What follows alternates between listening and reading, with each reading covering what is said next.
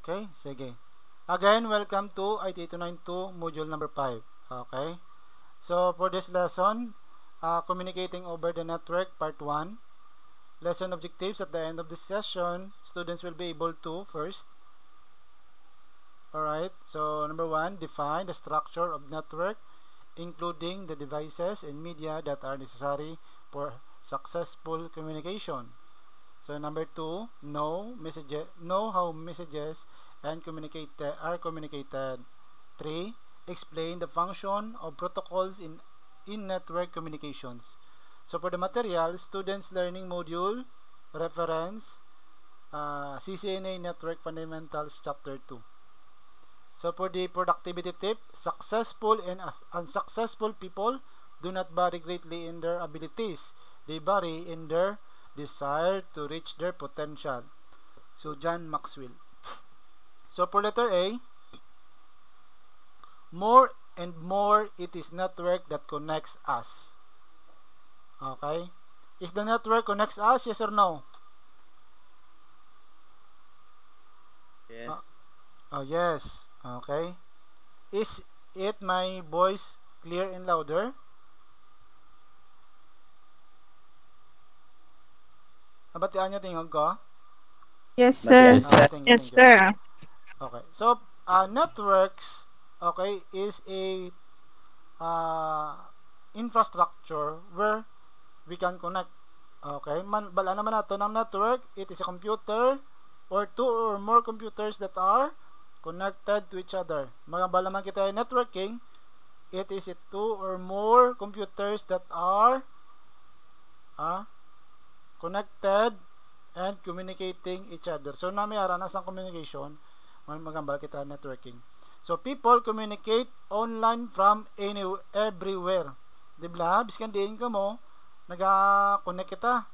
Then, efficient, dependable, technology-enabled networks to be available whenever and wherever we need them as our human network continues to expand the platform that connects and support it must also grow rather than developing unique and separate systems for the delivery of its new service.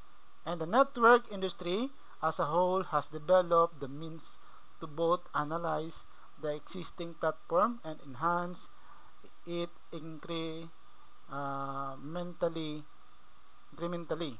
So this ensures that in that existing communications are maintained while new services are introduced that are both cost effective and uh, to effective and technologically sound in this lesson. So we focus on these aspects of the information next uh, network okay? So number one devices that make up the network media connect the net uh, connect the devices. So for the activity 1 for our table uh, what I know and what I learned. So please answer this one. How network of computers communicate. Oh, di ba? So kabalo lang kita magamit sang computer but we don't know how it works di ba so paano nila na gina-configure para mag-communicate kita? Okay. And lalo na paano nila ma-secure nga atong Google Meet nga collaboration will not exploit hindi maglaptang link. Okay? So pwede ba lang ang iban nga mga Google Google users can can collaborate with us without seeing without seeing the Google Meet link pwede sila ka ano sa ton pwede sila ka join without seeing the Google Meet link or code? Di ba? Okay. hindi. So hindi sila maka ano sa ton hindi sila maka join okay? Without seeing the Google Meet link or uh, Google Google Meet uh, code. So number two what is a protocol?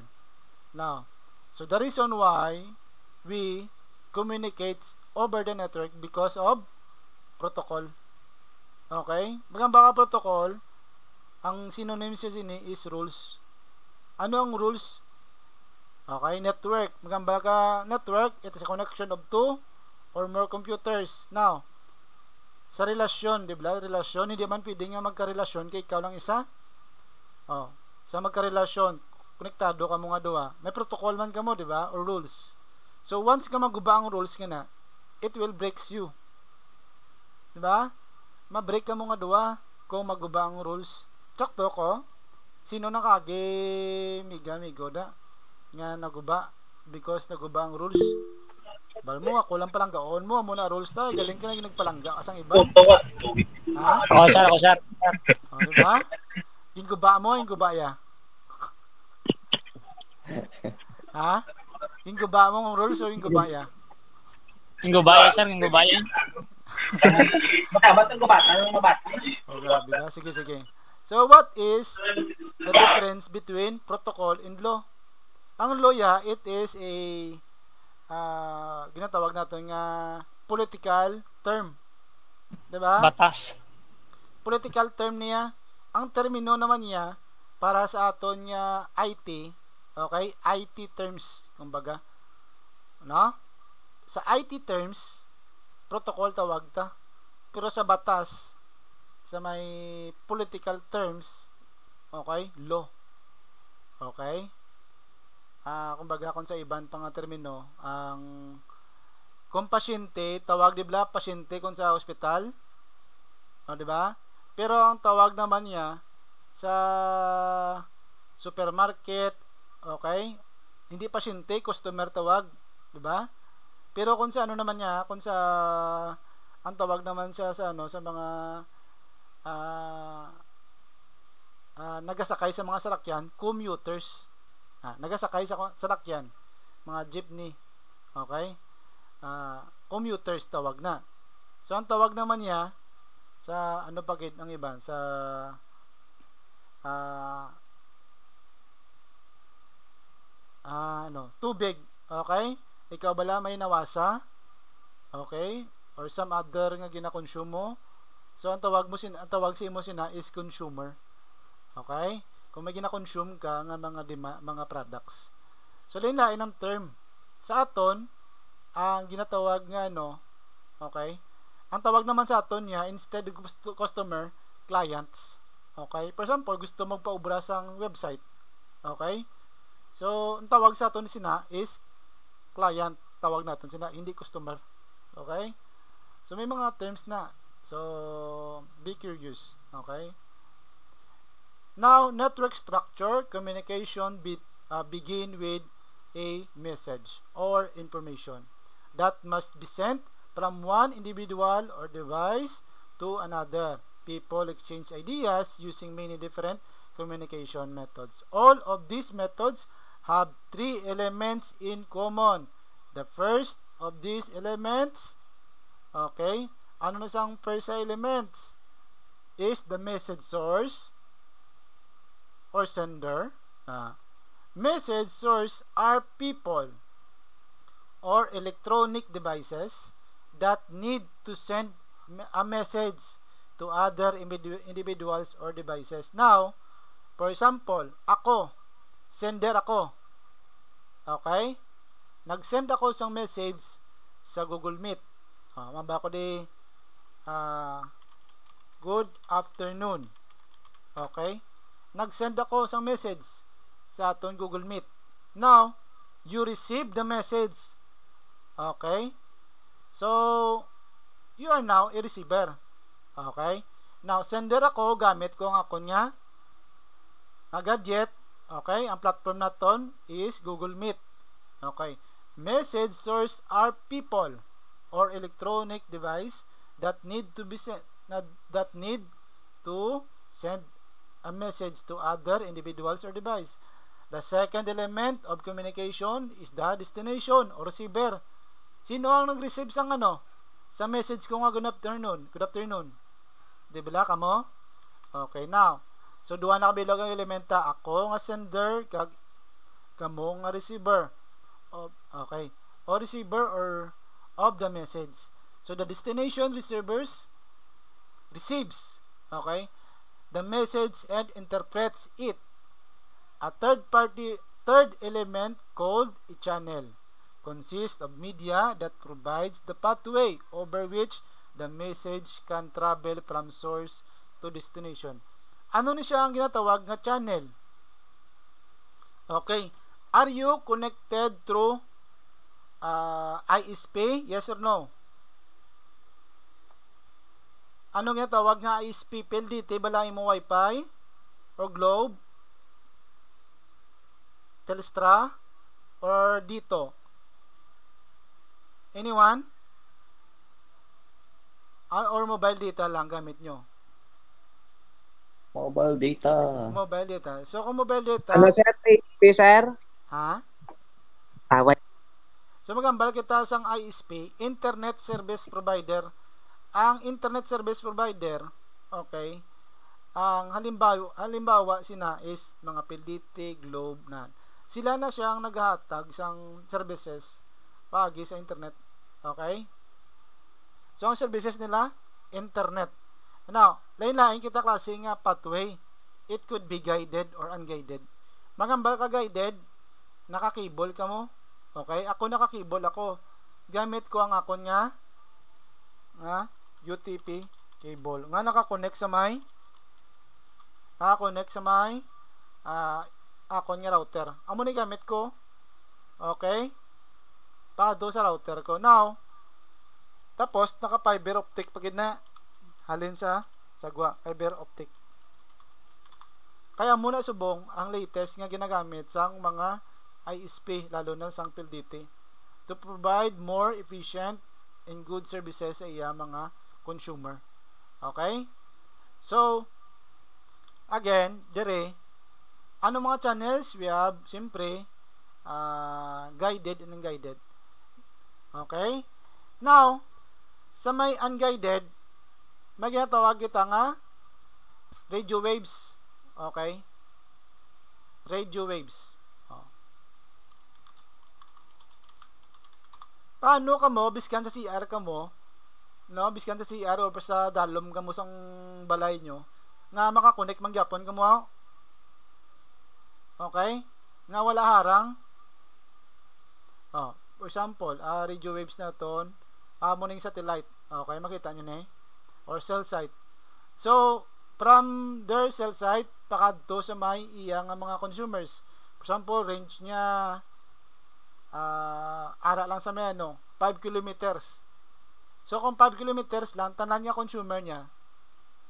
Malabot yun na biskan din pa nga pagi pero kung close tama gidya ka close hindi na malabot okay? Unlike ya kung example satellite okay?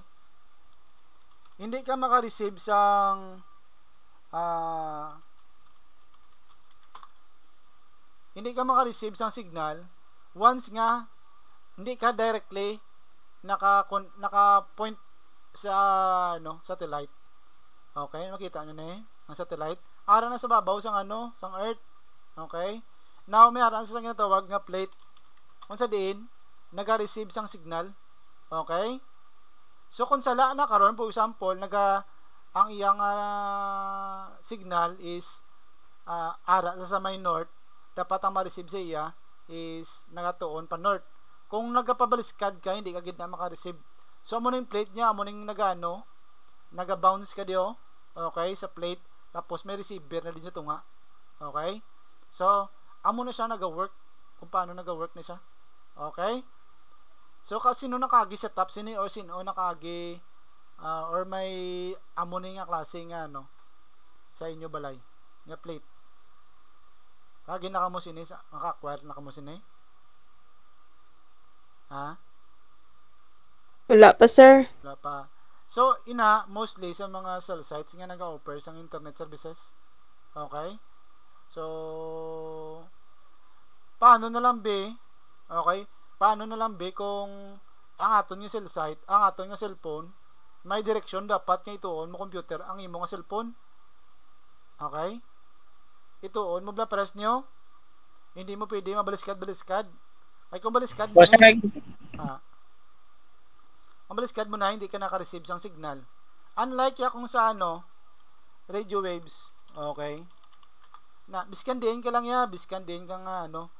Ah, basta hindi gid lang tama ka close. ang area mo ma-receive mo gid niya ang ano signal sang radio okay? Ah ara example lang nan. Nan. So here are some example. Kung ikaw kliyente ka sang ano sang kung ano man example smart ah, globe okay? Globe or TM okay? Token text and so and so forth.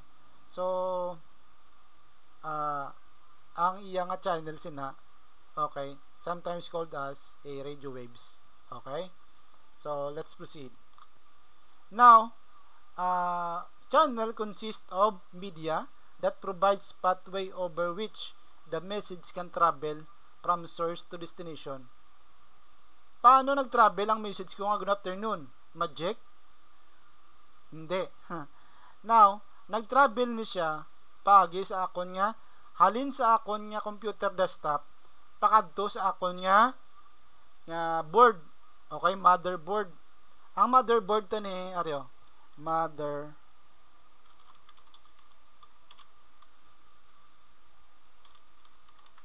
ang motherboard naton may mga circuits na.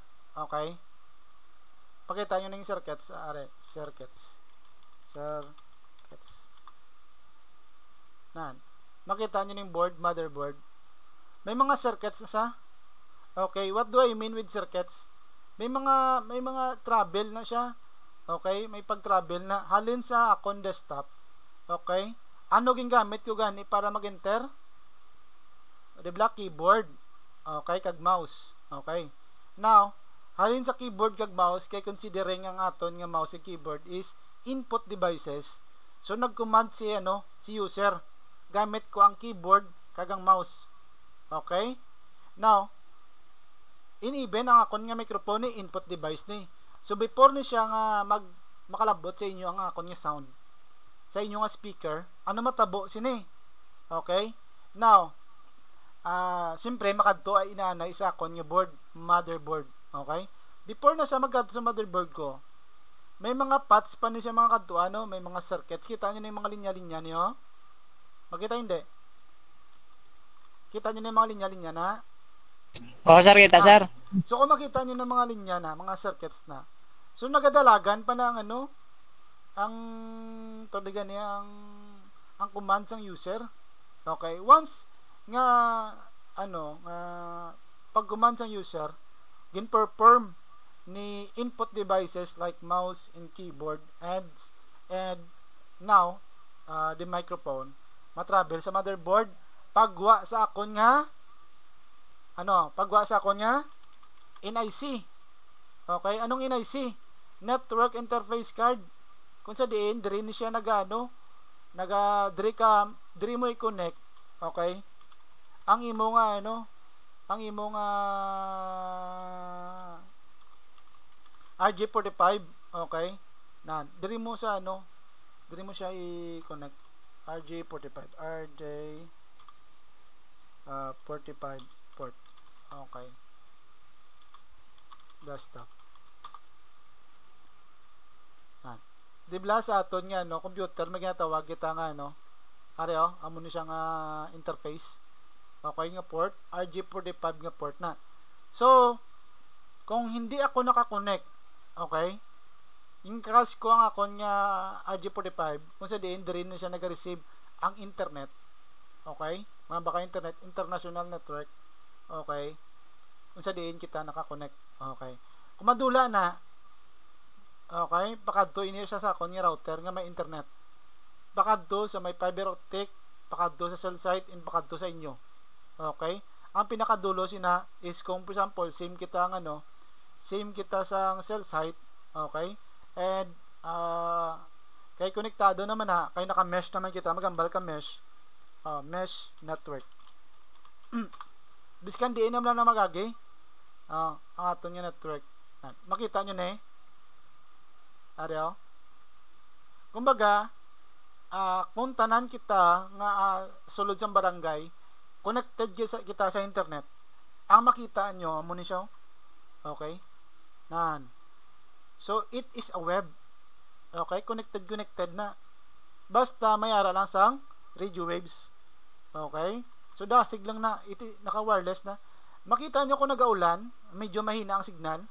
Did you experience weak signal kung nagaulan? Because interrupted ang aton nga wireless signal ang radio waves. Okay? Interrupted. Ano matabo? So may interrupt ang aton nga communication. O di ba? So now, amo na siya ka efficient ang aton nga ya, network sa bong. Pagambal ko, hello, ano sabat nyo? Wait, may sabat may signal, may nang signal. Hello. Hi, sir. Ah, dasig. Hi, sir. Di ba? Taga din to, taga din ka man kasabat. Sa din ka mo. Gusto na barbara, sir? Lapas ako. Sino pag ito ginang sabat ko lang. Kagat one, sir. Sa Barotak mo eh, boss, sir. Kagat one. kabatuan. Kabatuan. O, di No, makita nyo gaano ka, gaano ka efficient ang ating network, no? So, did you imagine that? Kung paano nag-transmit ang aton nga data from our uh, origin to destination? Now, so amo na siya ang aton purpose ang atong subject. Okay? So tatlo ka bilog element niya. So from receiver, okay, pakadto sa destination. And then our channel. Channel sometimes called as transmission media. Okay, duha ka bilog na, the guided and guided or wired or wireless. So first by sending smaller individual pieces from source to destination, many different conversation can be interleaved on the network. The process used to interleave the pieces of separate conversation together on the network is called multiplexing. Okay. Second, segmentation can increase the reliability of network communication. The separate pieces of each message need not travel the same pathway across the network from source to destination. So before getting into details on that, so please uh, let me uh, ano uh, see this one. Wait lang gan.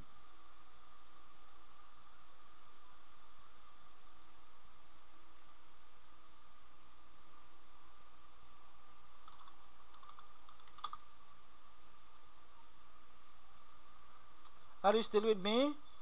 Harap pa, group 1 to 5. Yes, sir. Yes, sir.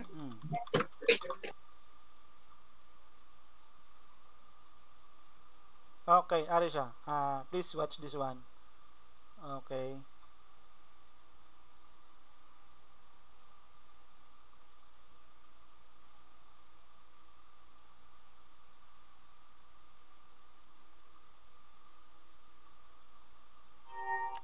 Get a real time bird's eye view of your projects. Create project. Okay, it will answer your query. How does the uh, data pass through in the network? Okay, nagambal ako. Hello? Ano yung respond? Ano yung respond? Hi. Nan. So, ano tabo is Hi. nagatag ko sang input, nag-output sa inyo nga speaker or headphone, tapos nag-respond ka mo pabalik-balik. Okay, pila lang to ka second? May second wala. Oh. May delay ang aking pagambal. May delay pagambal ko. Hello. Sabat na yun. Wala, sir. ah. Wala delay, di ba? So, ari. Okay. Amo na siya kinobra sa aton ng mga amo na siya kinobra sa aton ng mga ano, ISP kung paano padasigon ang aton nga ah, internet. Okay. So, please watch this one.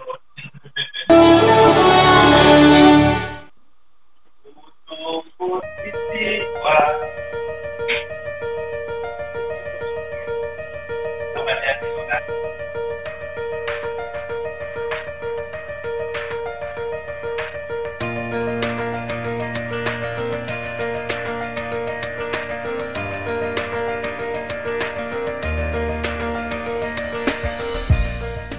digital revolution has changed the way we work and communicate almost beyond recognition.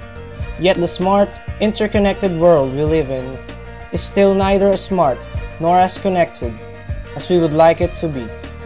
Until in the mid 1980s, the ISO or International Standard Organization developed networking model to provide standards that will become the basis for network designs.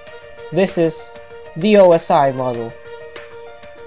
Seven layers build up the Open Systems Interconnection or OSI model. Let's take the flow of data and represent it with a train system. Sending a file or clicking a link in your computer ignites a flow of information.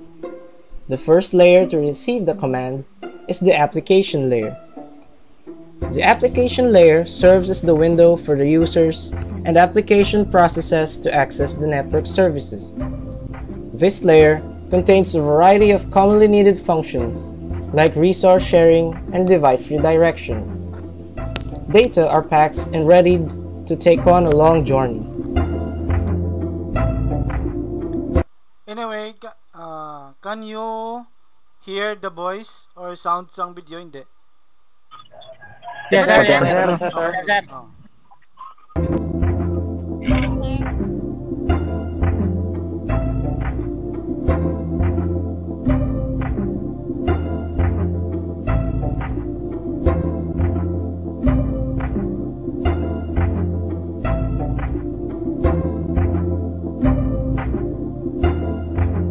After the data is read, the next layer or the presentation layer formats the data to be presented to the app Again, ano ang first nga layer gani under sa OSI?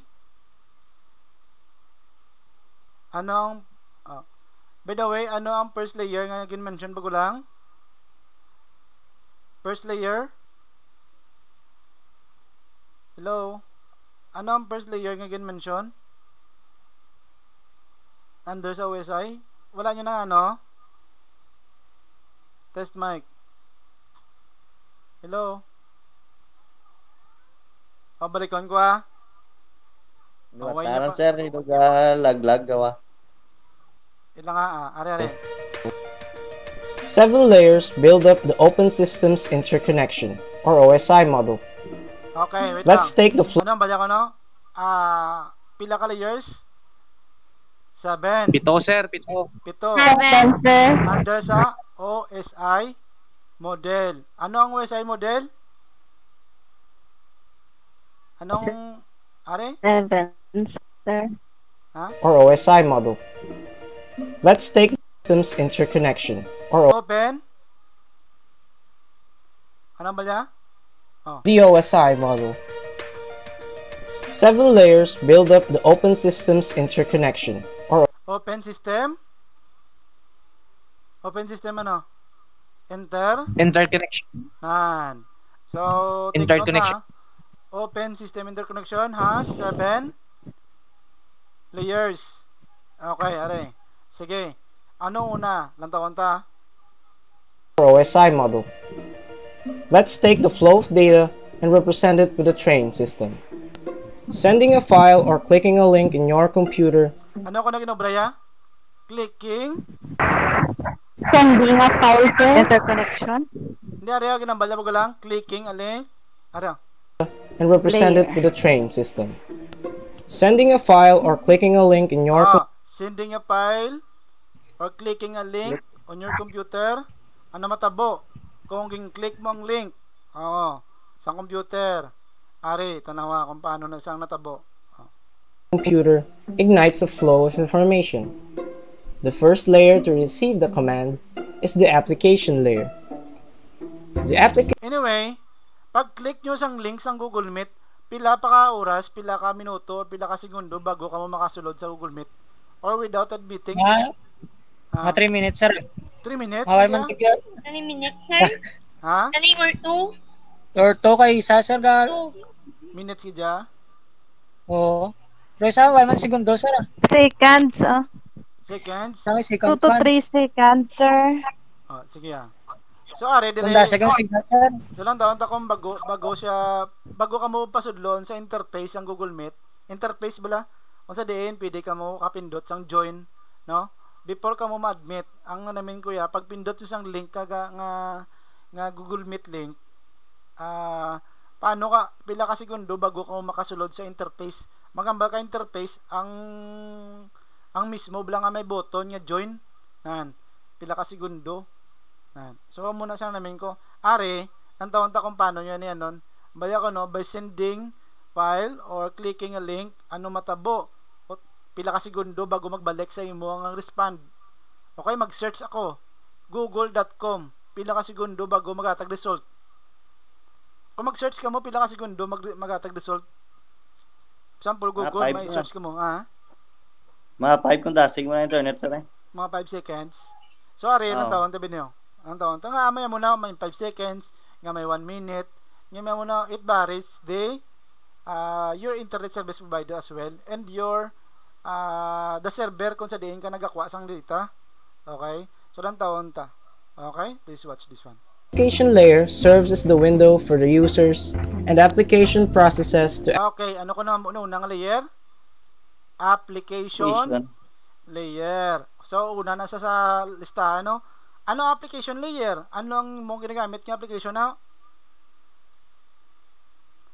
It is your Windows platform. Di ba? Windows platform na ang ginagamit mo. Okay, ano ginagamit mo? Browser? Ano ginagamit mo? Browser? Or application? Ano ginagamit nyo? Browser or application? Application ako, sir. Application, sir. Oh, yung download nyo sa may Play Store. Browser ako, sir. Yes. Yan. So, Mambak application, it consists of mga web app, mobile app, even your Windows application. Ang application na to na Windows, no? So, ang balya ko no, unang-unang layer application. So, proceed ta. access the network services. This layer contains a variety of commonly needed functions, like resource sharing and device redirection. Data are packed and ready to take on a long journey.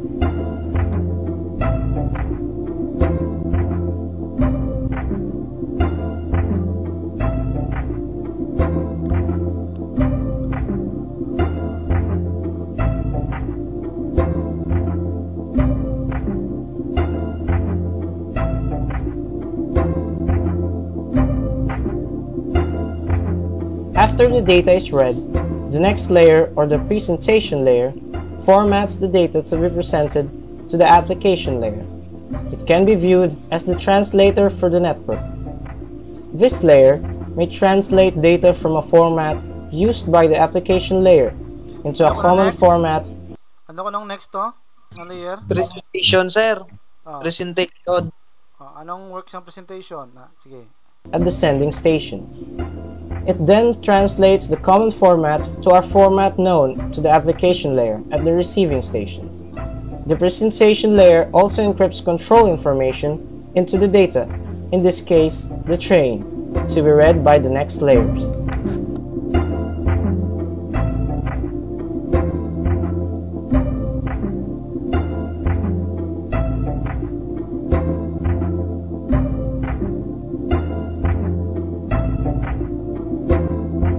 This layer allows session establishment, maintenance, and termination, which allow two application processes on different machines to establish, use, and terminate a connection, called a session. This session support Oh, ano next nga uh, layer? Session. Session. Okay, session. Kagi na ka mo gamit sang Google Form nga kung madula internet nyo kakadula mga answer. Oo, sir eh. Nan. So, mga Tapos tabo may iwat ka, sir. Na, So- na sa? Amo na natabo sa inyo. Session layer has responsible to terminate the session. Mamba ka session, this this class considered as a session. Pwede ko na i-terminate. Paano ko i-terminate? Ha? Ano brown ko? Malib ko, di ba? So, paano naman niya, paano ka naman niya, paano naman i- i-terminate? Ang imo request kung nadulaan ka koneksyon para sa Google Form nyo bla. Nga damo ko reklamo nga nabato na mo. Yan Google Form ligad nga ginapasubmit ko. Tabo do mula mo nan serya amo na mo nan serya dulaan sa koneksyon. Na interrupt ng koneksyon niya. Ano na tabo Adula nan serya sir? Uno. Why na? Why sir, na why na submit sir, nadula ang mo sir. ay naku, liwat naman siya, type liwat eh. Ah, sige, lo, ay man. Yeah. which performs the functions that allow these processes to communicate over the network, performing security, name recognition, logging, and so on. This layer remembers everyone who passes by.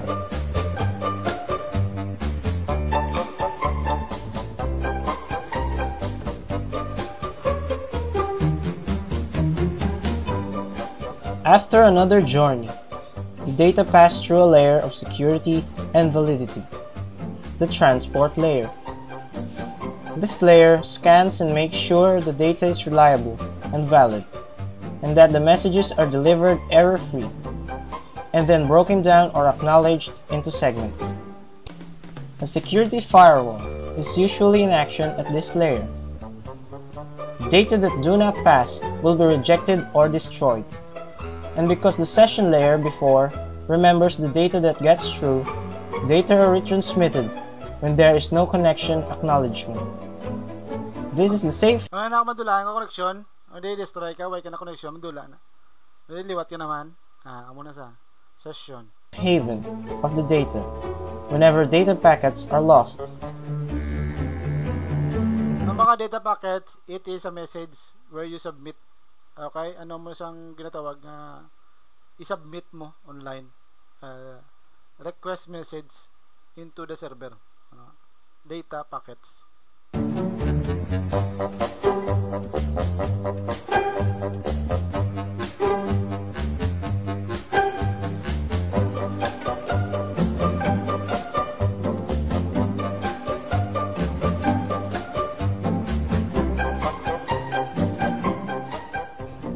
Down to another layer is the network layer.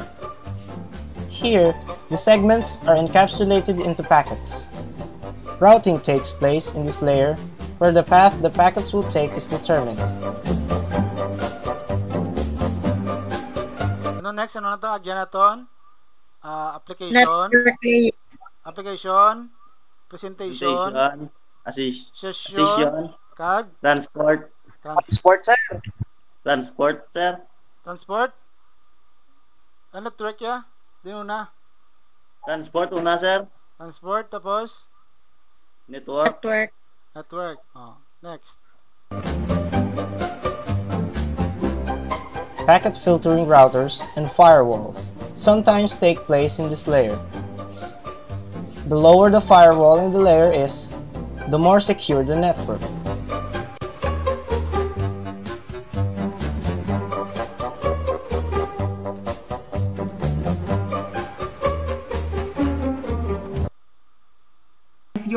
You're like me and you really want to be efficient when it comes to writing and editing your papers, I definitely recommend.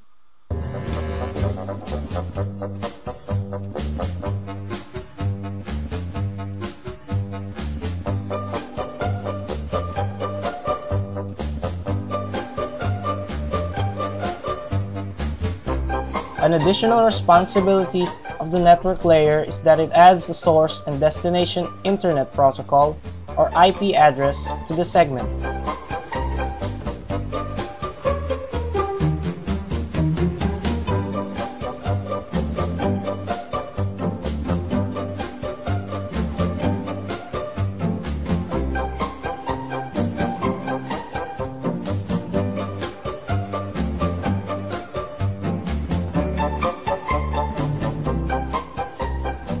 The next layer is the data link layer. The packets are turned into frames for the specific networks.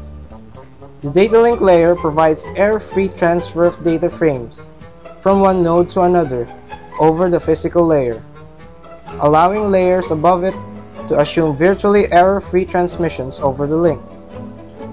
A switch in networking takes place in this layer, where packets are read of its control information and then encoded with the media access control or MAC address. The MAC address contains 12 hexadecimal digits and prevents collision in the same media.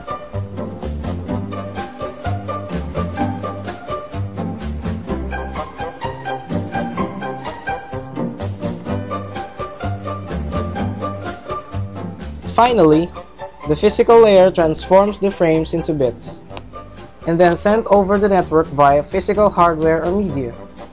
In this case, the Ethernet. Data are logically arranged and encoded before they get sent to a physical media to another computer, and is then received by another computer's physical layer.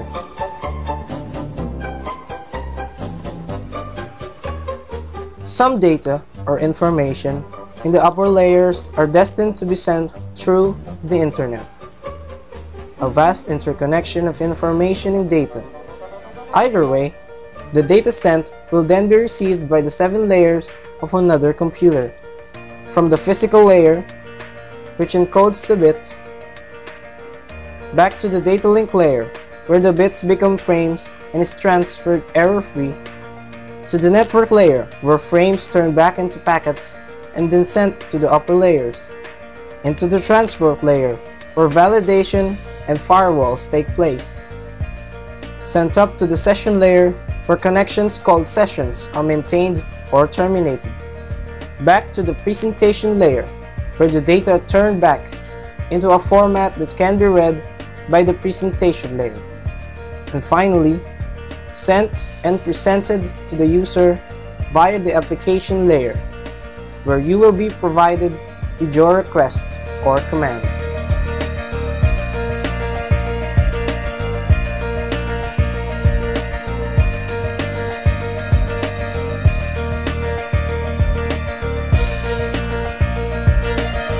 So every time you click on a link on the internet or send a file from one computer to another, Remember the journey the data have taken to make sure that everything is connected through a common network standard.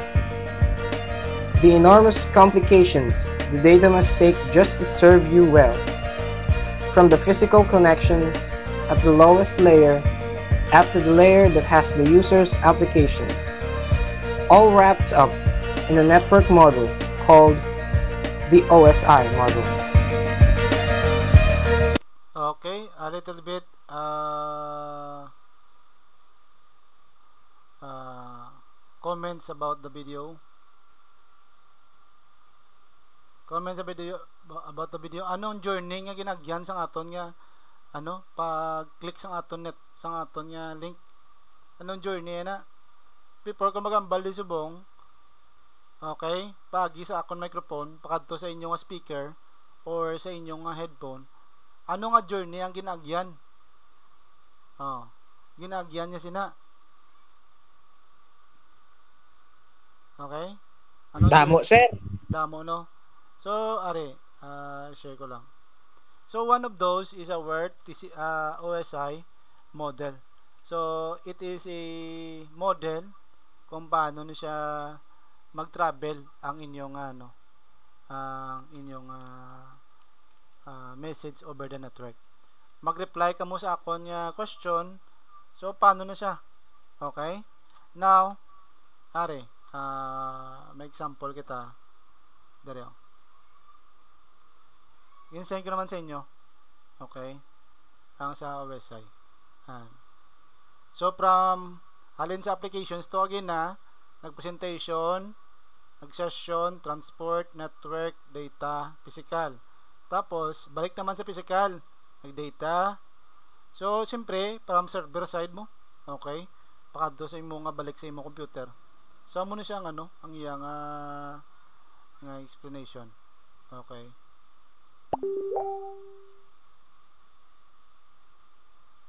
Okay, share ko na lang niya. OSI model.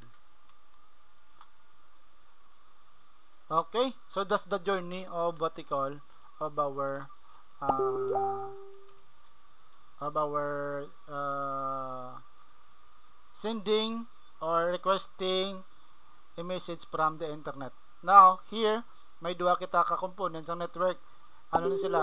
Hardware is often the visible components of the network platform such as a laptop, a PC, a switch of the cabling used connect the devices.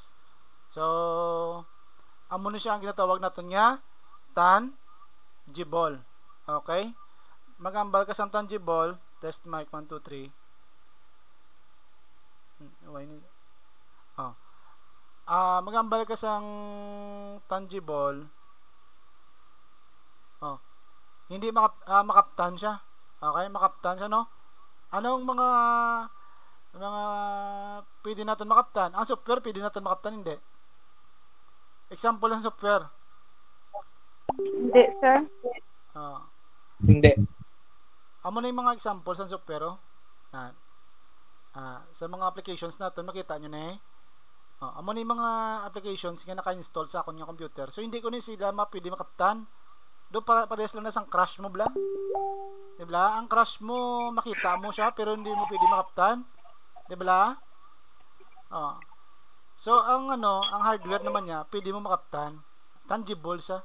Okay? So, ang software, intangible. Anong software? Is a services and processes are the communication programs na programs. A network service provides information in response to a request. So, what are or end device and their role in the network? Okay, may duha kita ka, duha kita ka ano, in-explain ko na siya sa module number uh, module number uh, 4. Okay, so buong module 5 kita. Okay, so maybe uh, ano, ma-refresh mo lang for the uh, ano, review. So, end device form interface with human network and communication network. Role of end devices. Okay, are we, question, are we a client of Google Meet or Google? Yes or no? Yes, sir. Yes, Okay. sir. Hmm. Now, so, ano ang ginagamit natin para maging client kita ni ni Google? Ano ginagamit Google natin? Meet. Hindi. Google Meet. Ano ginagamit natin yung hardware?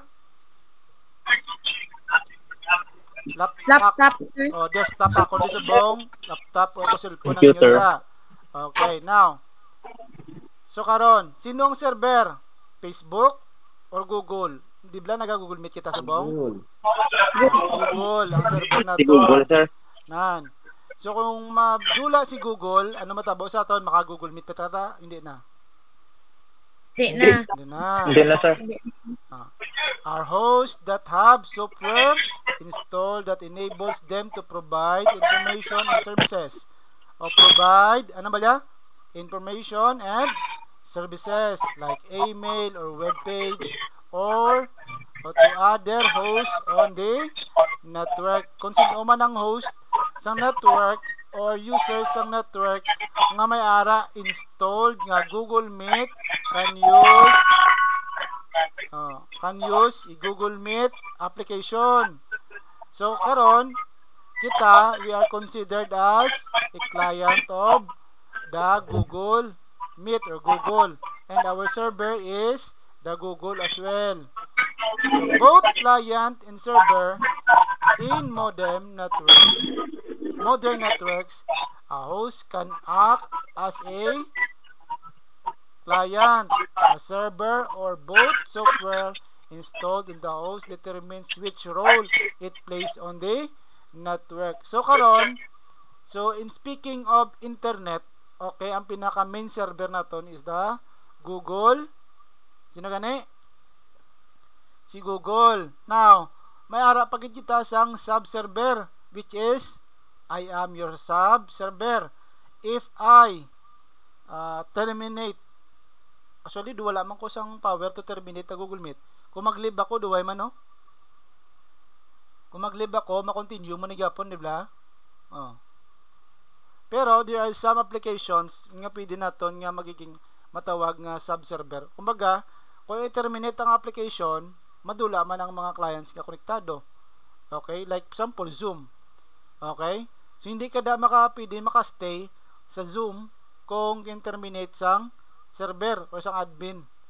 Okay? Sang Zoom. So, mo na siya ang uh, ginatawag nga client server. And again, as our review, okay, client server, are. Ah. So, meaning, ano siya? oh? Makita nyo niyo? Server. Okay, makita nyo na yung server nga box nyo. May nag-admin sini. Okay? Now, we are the client's PC. Yan. Ari kita, kita, si- kita ni. Okay. Now, we are connected to the central uh, controller which is the switch para makatag multiple compute uh, clients. Okay. Madula ng server will no longer be given a services. Hindi na kita, like for example, sharing printer. Kung disable yan eh, hindi naman kita makakonect. Okay? So, ang muna sa example, ya. client, client kita, then the server. Okay. So, proceed. Role of intermediary devices. In addition to the end devices that people are familiar with, networks rely on the intermediary devices to provide connectivity and to work behind the scenes to ensure that data flows across the network. These devices connect the individual hosts the network and can connect multiple individual network to form an inter-network. So, as you can see here, okay, mayroon kita sang router, fiber optic, and then the copper cable. Okay, and then the wireless router. Okay. So to proceed, okay, what is network media? Communication across a network is carried on a medium. The medium provides the, the channel over which the me message travels from source to destination. Modern networks primarily use three types of media to interconnect devices and to provide the pathway over which data can be transmitted. These media are first metallic wires, metallic wires with the cables, glass or plastic fibers, okay, and wireless transmission. So, please watch na lang sa video because na na-share ko naman ni ang differences between the cables, plastic cables, okay, and wireless transmission. Okay? And again, for that wireless transmission, okay, mm-hmm. alright. So, wait lang ha. Okay.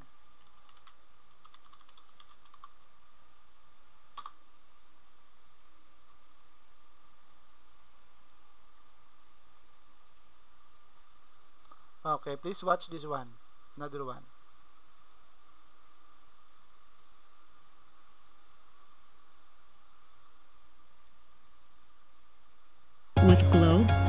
Our steps can lead us to millions of doors opening, millions of Hello everyone. In this video we're going to talk about the difference between a wireless access point and a Wi-Fi router.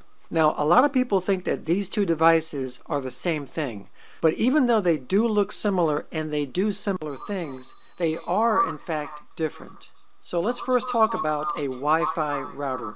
Now almost everyone who has an internet connection in their home would have a Wi-Fi router, whether that Wi-Fi router is a separate device or if it's built into their modem.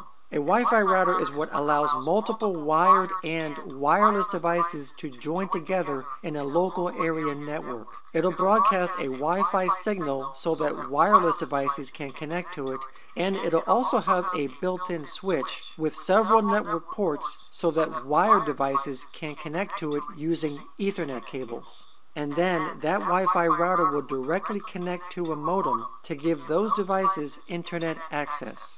Wi-Fi routers are mainly used in homes and small offices. So here we have a typical home where a couple of desktops are connected to the Wi-Fi router's built-in switch using cables, and we also have laptops and tablets that are connected wirelessly to the router. So now let's talk about a wireless access point. A wireless AP relays data between a wired network and wireless devices. It's basically a wireless hub that's used by wireless devices to connect to an existing wired network.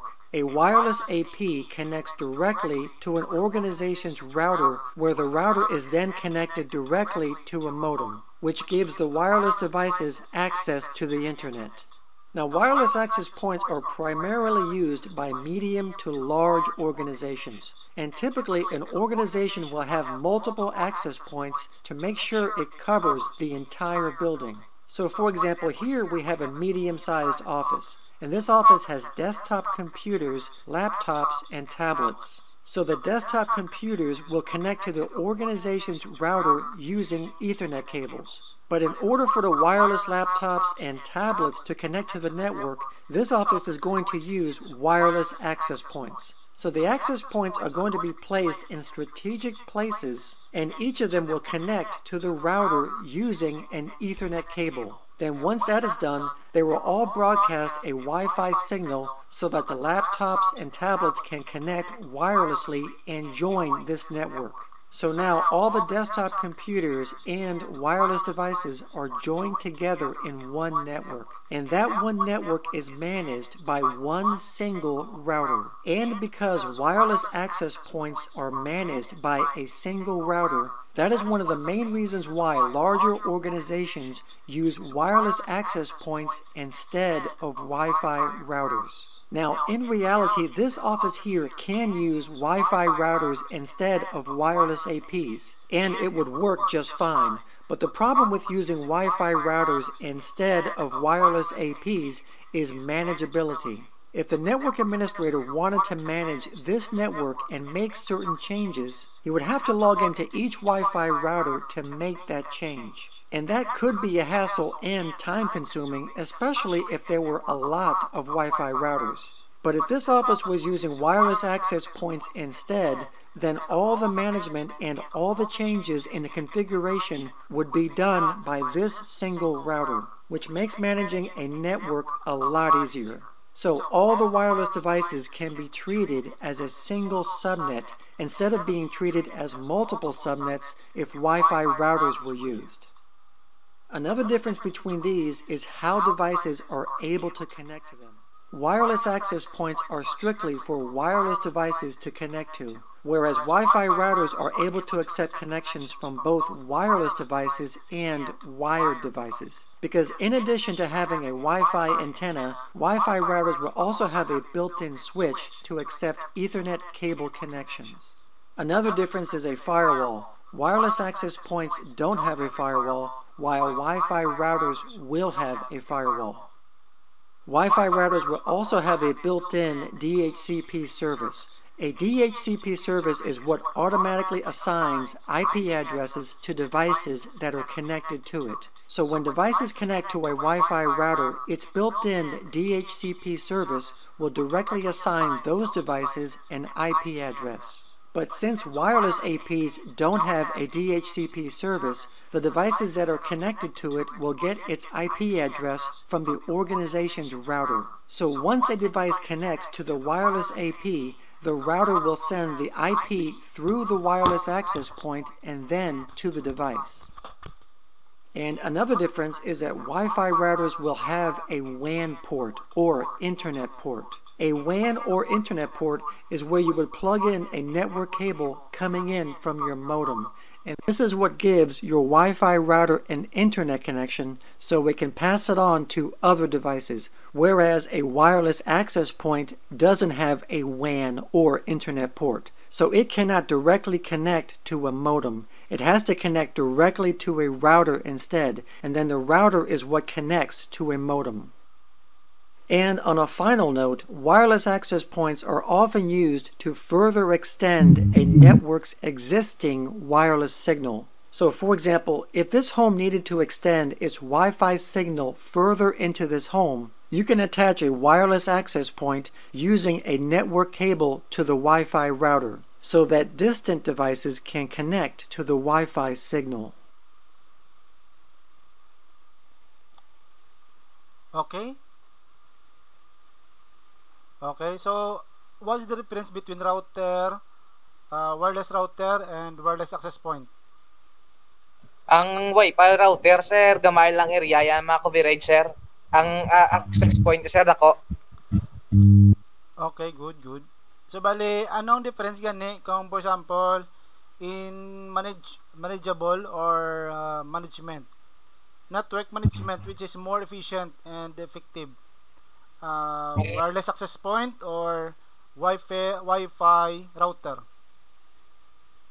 Ang wireless access point, sir, kay isa isa lang kubra, sir, ang Wi-Fi, sir, isa-isahon pa mo. Oh, dire sa may ila nga, dire sa may ano, example, di nakita nyo di na sa may ano. Ah, kita nyo niyo. So may kung example, ikaw ang admin sini, isa lang yan imong uh, modem kag router. Kung ano i-configure mo dito sa imong uh, main router, okay, amo man lang ma-apply sa mga wireless access point mo. Okay? Unlike ya kung naka-router, dire oh, naka wifi router, isa-isa uno pa niya bukadon configure yung tatlo niyo. Okay? Unlike sa access point, okay, receive na na automatically. Access point lang sila ya mo. Nakita nyo na sa may, ano, sa UI, di ba may guest na dira nga wifi kung isa makita nyo may guest. Sino na pwede naka, makakonect ka na mo, kamo na mo. Ang password na is sasamahan kita 2020. So, amo na sang password niya. Hashtag sasamahan kita 2020. Now, kung makita nyo, ang guest niya na visible uh, all over the campus. So, pwede sa CR kung sa diin man ang aparte. That's because of the wireless access point nga gintakod nila in different uh, buildings. Okay? Now, isa lang yung router nila. So, bichilingon, isa lang yung configure nila. Kung lainon nilang password, hindi, ta, hindi ni nila ya i-configure isa-isa yaw. Nan. So, muna sa ang purpose. Gets nyo? But sometimes, okay, pwede na natin makonsidered nga nga ang wireless router pwede natin magamit as wireless access point. Okay, pwede na siya. May ara ka lang sa i-configure dira. Okay? So, pero for dedicated, acquire the success point, pwede ka muna kabakal. Okay? Now, um, wireless extended. Okay? Ari, makita ko sa. Wireless, wireless extended. So, wireless extended, pwede na ito na mabakal. Uh, ah, example, TP-Link. TP-Link. Yan. Ari, R8 is a type of uh, extender. Wireless extender. For example bin sa balay nyo dibla 10 meters lang na malabutan niya 10 meters lang ng wifi nyo no sa balay nyo. Now pwede, pwede ka nakabakal subong sang isa ka wireless extender. Okay? Uh, wireless extender 200 meters. Siguro tenda na sa mo tenda. Tenda router na.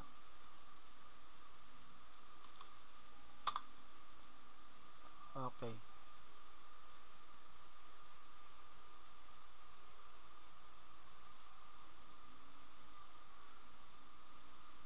Okay, pero may mga may baklan ka na nga mga wireless extender nga may ara sang sang ano, sang 200 meters. So, magamba ka 200 meters. Makita nyo ng piso wifi. Piso wifi. So, ang Oh, ginagamit dira nga ano is a wireless wireless access point or wireless extender. Kung sa diin ah i-connect mo lang yung imo wifi, piso wifi tapos extend yun ang imong uh, internet uh, okay uh, dapat naka-reduce lang siya nga no 200 meters.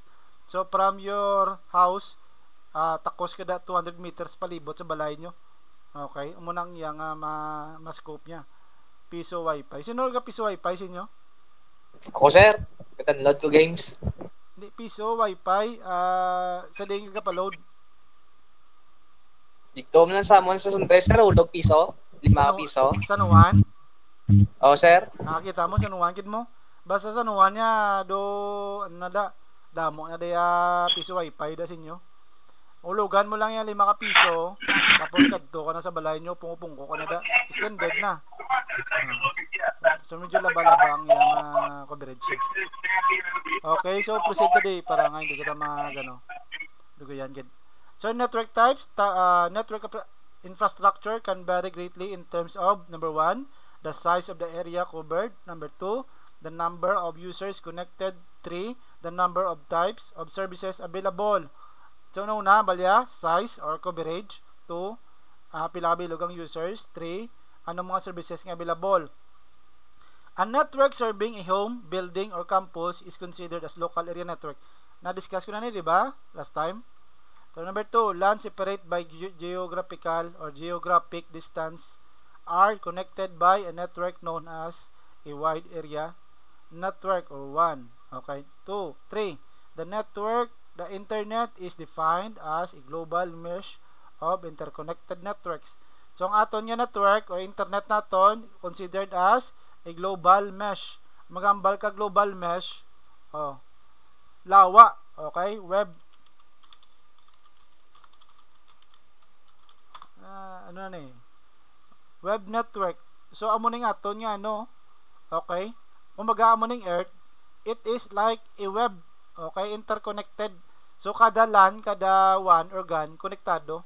So that's our what we call uh, that's our uh, uh, uh, internet okay considered as a global mesh so network representation when uh, conveying complex information such as network connectivity and operation of a large internet network it is helpful to use visual presentation and graphics like any other language the language is language of networking uses a common set of symbols to represent the different end, end devices, network devices, and media.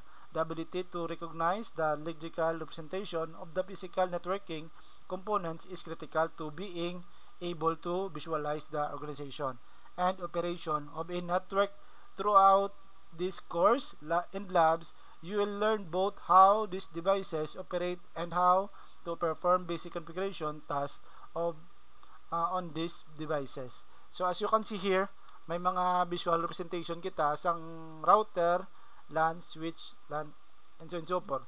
Okay, so makita nyo na sa Cisco Packet Tracer nga nga ano, nga nga platform, okay? Where you can uh, uh, virtually uh, configure your network. So, function of protocol in network communication. A protocol is a set of predetermined rules. Oh, rules. Then, number two, network protocols are used to allow devices to communicate successfully. Blah. So, para mag-communicate successfully, kaya nansang protocol. Without a protocol, hmm, wala na na, breakups. A standard is a process or protocol that has been endorsed by the networking industry and and ratified by standards standards organization. So next, technology independent protocols. Okay, uh, many diverse types of devices can communicate using the same sets of protocols. Then this is because protocols specify network functionally, not the underlying technology to support this functionality. Next, different protocols are. Okay, ano mga protocols na ton? Uh, HTTP, Hypertext, Hypertext Transfer Protocol, is a common protocol that governs the way that a web server and a web web client interact. Makita nyo niyo, Google. Makita nyo na eh. Pag search ko sa Google, makita nyo yung HTTP. Makita nyo na eh. Yes, sir. Na, so, it's protocol. Once you access the web server, may ara protocol nga ginapalo. Okay? Uh, Transmission Control Protocol or TCP is the transfer protocol that manages the individual conversation between web server and web clients. Okay?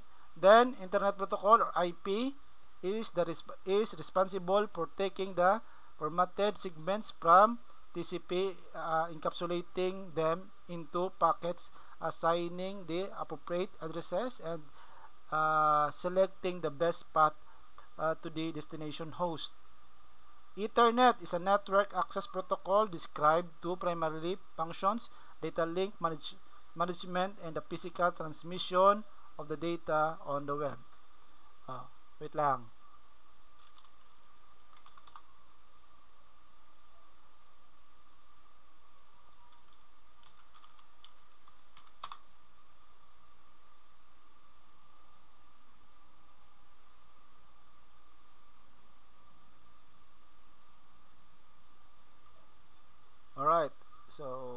Greenwich Extreme Overload Pizzas, our highest level in toppings and cheese. This is extreme. Good grammar and spelling are important. But if you want to write essays that inspire, messages that Hello forge everyone. brighter connections, In this video, we're going to talk about HTTP, secure HTTP, and SSL. Now, HTTP stands for Hypertext Transfer Protocol. Now, this is probably the most widely used protocol in the world today. HTTP is the protocol that is used for viewing web pages on the internet. So when you type in a web address like google.com, you'll notice that HTTP is automatically added at the beginning of the web address. And this indicates that you are now using HTTP to retrieve this web page. Now, in standard HTTP, all the information is sent in clear text. So, all the information that is exchanged between your computer and that web server, which includes any text that you type on that website, that information is transferred over the public internet. And because it's transferred in clear text, it's vulnerable to anybody who wants it, such as hackers. Now, normally this would not be a big deal if you were just browsing regular websites and no sensitive data such as passwords or credit card information are being used. But if you were to type in personal sensitive data like your name, address, phone number, passwords, or credit card information, that sensitive data goes from your computer and then it has to travel across the public internet to get to that web server. And this makes your data vulnerable because a hacker that's somewhere on the internet can listen in as that data is being transferred and steal your information.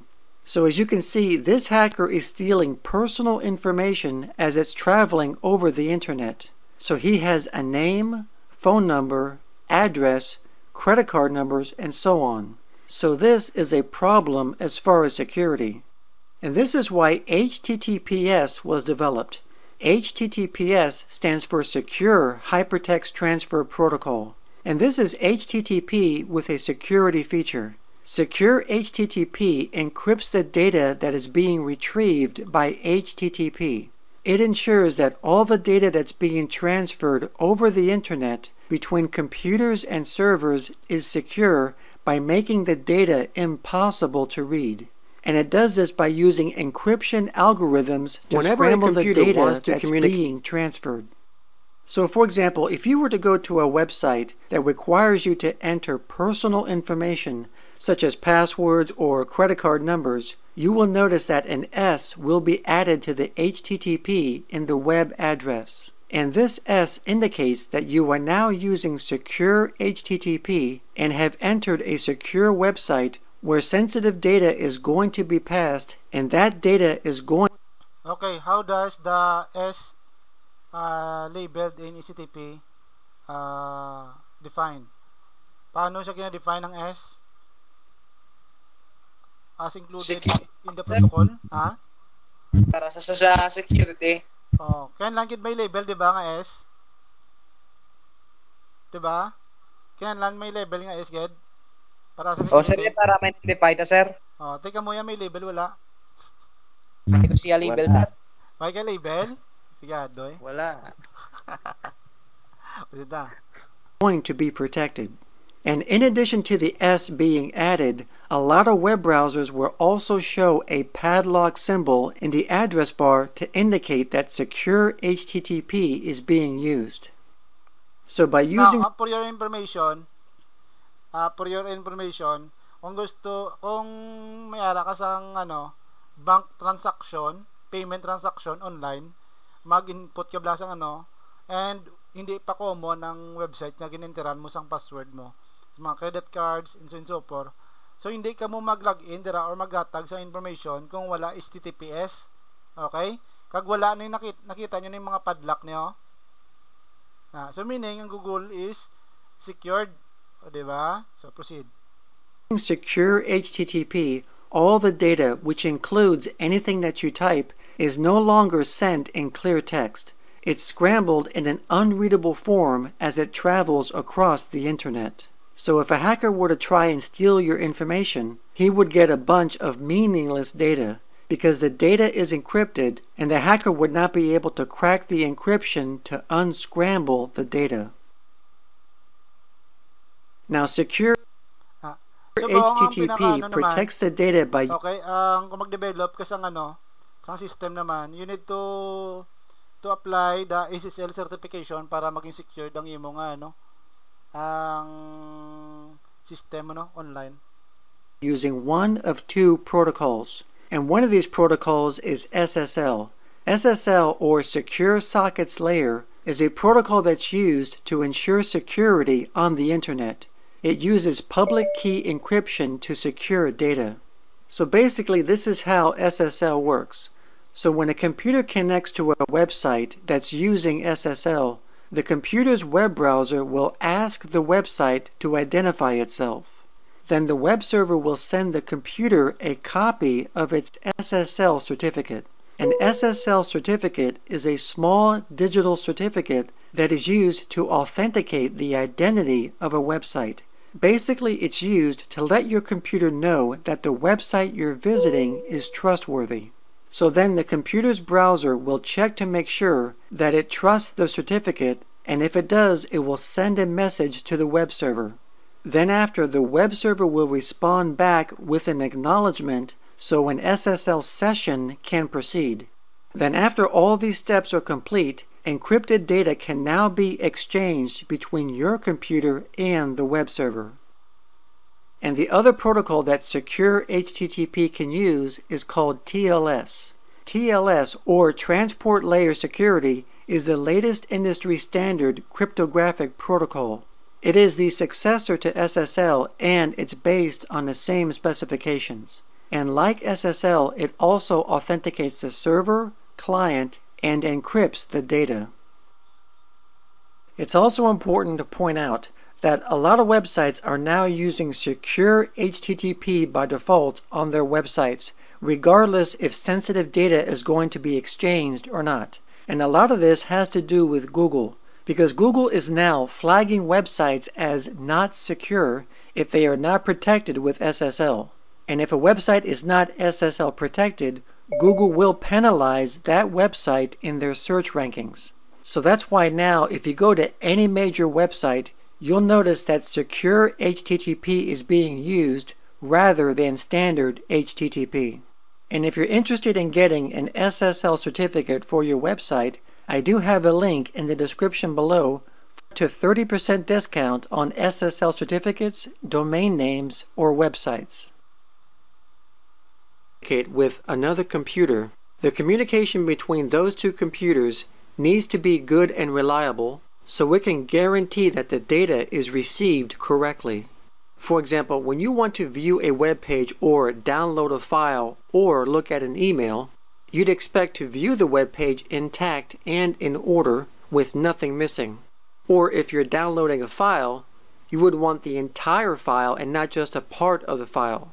Because if data is missing or out of order, then it wouldn't be of any benefit to you. So this is where TCP comes in. TCP stands for Transmission Control Protocol, and this is one of the main protocols used in a TCP IP network. And TCP is what is used to guarantee that all the data is received and in order. Because without TCP, then some of the data could be missing or out of order. Because if you view a web page without TCP, your web page could be all messed up. The images could be missing, or the text could be backwards and out of order. Or if you download a file, then you might not get the entire file, or you could get the file out of order, which would render the file useless. So again, this is where TCP comes in. Now TCP is a connection-oriented protocol, which basically means that it must first acknowledge a session between the two computers that are communicating. So the two computers verify a connection before any communication takes place. And it does this by using a three-way handshake. So the first step is that a computer will send a message called a SYN, S-Y-N. Then the receiving computer will send back an acknowledgement message telling the sender that it has received the message. And then finally, the sender computer sends another acknowledgement message back to the receiver. And then once this has taken place, data can be delivered. Another important thing to remember about TCP is that it guarantees the delivery of the data. So if a data packet goes astray and doesn't arrive, then TCP will resend it.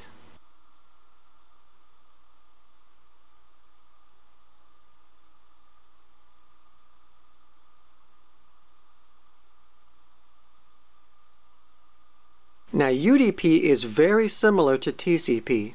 UDP is also for sending and receiving data, but the main difference is that UDP is connectionless, which means that it does not establish a session and it does not guarantee data delivery. So when a computer sends their data, it doesn't really care if the data is received at the other end. And that's why UDP is known as the fire and forget protocol, because it sends data and it doesn't really care what happens to it, as this demonstration will show. Another point to remember is because of the less overhead that's involved of not guaranteeing data delivery, UDP is faster than TCP. So thank you for watching this video. Alright. Alright, so I hope uh, you get the point for this. Okay. So different protocols, HTTP is a common protocol that governs the way that a web server and a web client interact. So for the TCP, Transfer Control Protocol is the transfer protocol that manages the individual conversation between web server and web clients. For the IP, again, is, a, is responsible for taking the for, for, for the formatted segment from TCP, uh, encapsulating them into packets, assigning the appropriate addresses, and selecting the best path to the destination host. Ethernet is a network access protocol described to primarily functions data link management and the physical transmission of data on the media.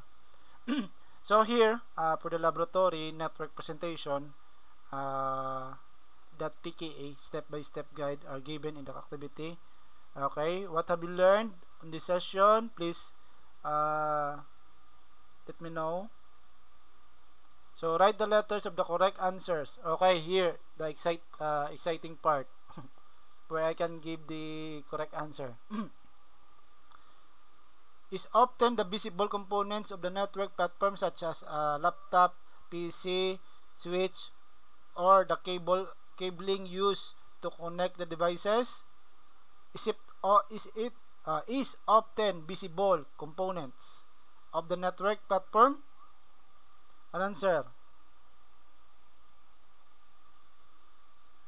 Oh. Hardware, sir. Hardware. Oh. Some answers? May nag-answer?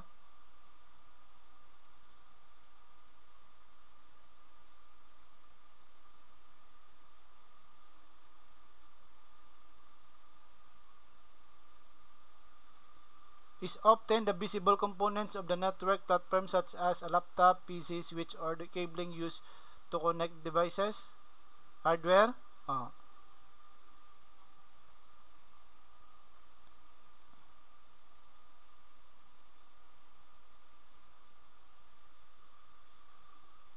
Oh, other answers. Okay na?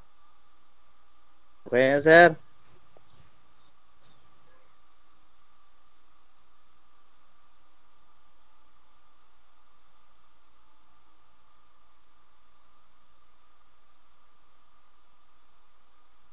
Oh, why kulang ang ilan, ano ba? Oh, sige lang.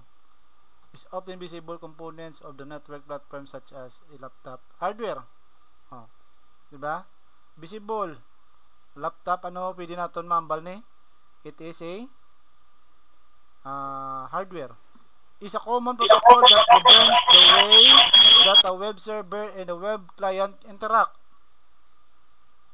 A common protocol that governs oh, the way that the web server and client oh, di ba nag nag-search ulit again ha is the Google or Bing, uh, Bing niyo. Actually, o Google na lang ko. Sample YouTube. Okay. Pagatag sa konsang HTTP. oh. Ano ni siya? Sino nagatag sa konsang answer? Sang result? Si Google. Okay, now. Ano nga protocol na? HTTP, sir. HTTP, good. Is a common protocol or 3. Number 3. A network serving a home building or campus is called Oh. home. Anong home? It is a LAN. Small network lang na ya. Gets nyo? Nga LAN? It is a local area network, home or building. Did you agree? Yes, sir. Ah. 4. The process used to interleave pieces of separate conversation together on the network is called ah, ano na eh? Ano answer? Ha? Segmenting, sir. Ha? B, sir. B. Segmenting. Biman? Dasig ka pa sa ano? Ari. Multiplexing. Oh. the process used to ano, uh, sending individual from uh, sending to different conversation until uh, used for interleave pieces to separate conversation together with one network is called Multiplexing. uh, okay five are hosts that have software installed that enables them to provide information and services like email or web pages to other hosts on the network. Ano na siya? Software installed. Kung may ara ka sa software installed tapos nagatag ka services sa client, ano na tawgon? Provide information and services? Ano na sa tawgon? Sino ang nag-provide? Siyempre admin server eh. Okay. Does your server provides information? Yes or no? Does the Google Google Meet provides information? Yes or no? Yes. Ha? Yes, 'di ba? Oh, O, sir. next. Hindi na to, to. Kumay na? Oh. Wala na. Ba? Perfect quiz nila ba? Oh. Next, ah, shade mo lang niyo. Okay, nothing else. So kung mag-answer ka mo, activity 1, number activity ah, module number 5, module 6. Okay, shade mo lang. So module 5 done. Bata mo lang. Then, okay, answer mo lang na. So facts, anong facts? Frequently asked question, how do protocols work? Okay? The internet and most other data networks work by organizing data into small pieces called packets. Ano kuno ang tawag sa data networks? Okay, work by organ- organizing data into small pieces. It is called packets. Okay? So because protocols like inter- internet protocol often work together in layers, some data embedded inside a packet formatted by for one protocol can be in the format of some other related protocol. A method called encapsulation. Ano ba silingon sa encapsulation? Okay. Embedded uh, inside a packet formatted for one protocol can be in the format of some other related protocol. Okay. So what is the relationship between ISP and internet? Ano ba silingon sa ISP gani? Internet Service Provider. Okay? Ano kay ba nila na? So, an ISP provides access to the internet whether you're at home or work. Each time you connect to the internet, you your connection is routed through uh, an ISP like your PLDT, Globe, Telstra, or Dito.